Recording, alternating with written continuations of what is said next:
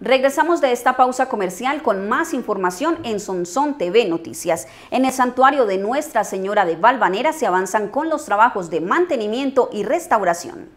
Por medio de estos trabajos se busca conservar una de las edificaciones con gran valor patrimonial en el municipio. Hace cinco años comenzamos la, las obras de mantenimiento, eh, funcionamiento, restauración. Últimamente también hemos tenido que adelantar obras de reparación y ahora de ampliación.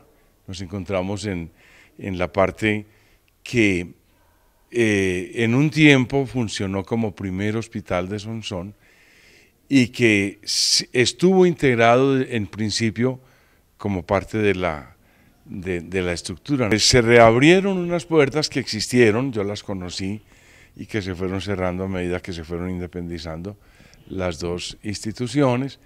Eh, luego este patio, conservando la naturaleza de patio, eh, no quisimos eh, acceder a, una marquesina, sino más bien a unos cierres laterales con paredes de vidrio en una estructura de hierro, adecuada con el estilo de la casa, para no perder toda la luz y todo el, aire natural.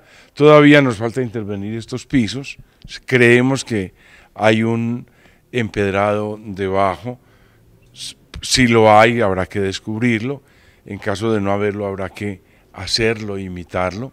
Adicional a la parte estructural, durante estos últimos años se han venido fortaleciendo el componente espiritual y social. Se avanza en la, eh, en la difusión de la naturaleza de un santuario como lugar de penitencia, de peregrinación, de oración, también claro de celebración de los sacramentos y de otras formas de religiosidad popular.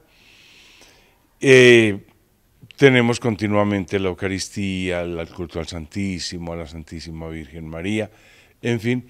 Y para la Semana Santa tenemos la celebración de la Semana Santa a la manera propia de un santuario, tranquila, reposada, silenciosa, eh, reflexiva. También el santuario eh, tiene sus obras mm, apostólicas, acompañamos algunos grupos de eh, proyección social no parroquiales.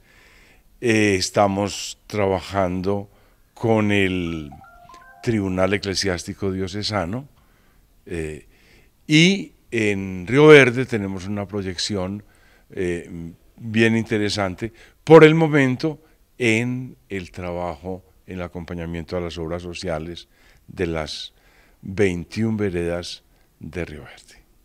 Durante los últimos días fue notificada la firma de un decreto por parte del señor obispo mediante el cual se reconoce este santuario como santuario diocesano.